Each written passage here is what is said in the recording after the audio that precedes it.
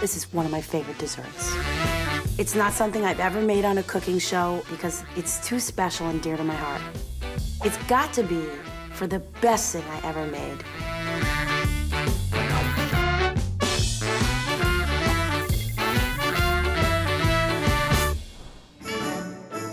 It's so rewarding and it's really rare that you have those moments as a professional chef where you make something and you take a bite and you say, this is exactly how I wanted this to taste. These beignets, they're something people can't get enough of.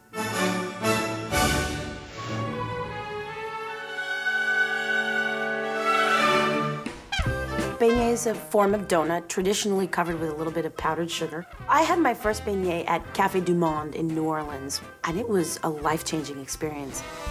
So when I became the executive chef at Butter in New York City, one of my first missions was to recapture that moment in New Orleans and make my own.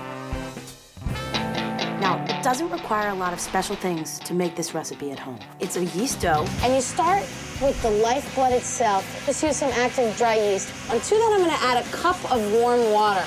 Mix the yeast and the warm water together. And you'll see that start percolating right away. If you don't see that little bit of activity, it probably means that your water might not be hot enough. Throw it out and start again. Now whisk in a cup of flour. Whisk it together, cover that with plastic, and put it in a warm place. It's really warm in here, so I'll just leave this out. And let it double up in size. That's sort of the engine of these beignets.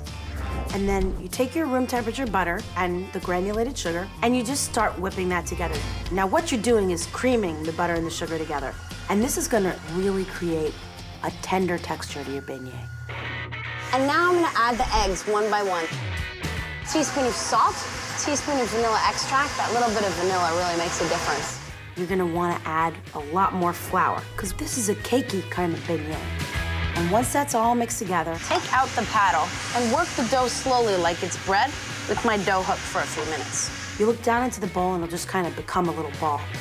That's when you take that yeast mixture that's been proofing, gently with a spatula, scrape it into the same bowl with the eggs and the butter and the flour, See how lively that yeast mixture became? And I'll just let that spin for a few minutes until everything is integrated. Transfer that to a clean bowl. I'm gonna grease the bowl beforehand so that as the dough rises and grows, it doesn't stick to the sides. Put it in a warm place and let it rise. So after the mixture is risen, turn it out onto a floured surface and just pat it down with your hands, a little bit with a rolling pin, until you get about an inch, inch and a half in thickness. Cut all the little beignets, put them on a tray, let them rest for a minute. When they've proofed a little bit, they look like this. And then I drop the beignet in small batches into the hot oil, and they'll frizzle and sizzle in the most wonderful way. Oh, these look awesome. So puffy and fluffy and light. Fish them out once they're nice and golden brown on all sides. Drain them, put a little bit of raspberry jam in the middle for that nice little fruity tang.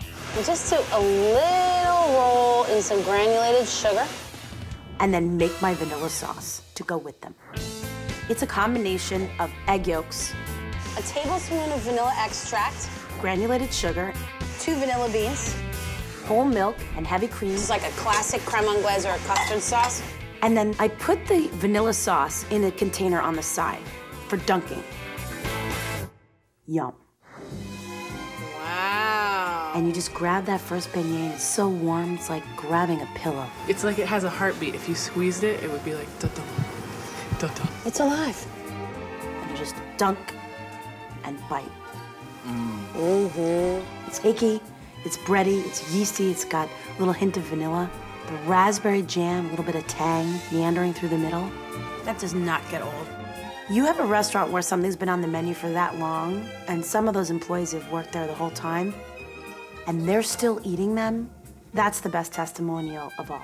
It's like a girlfriend that you can't break up with. I like that. Cheers.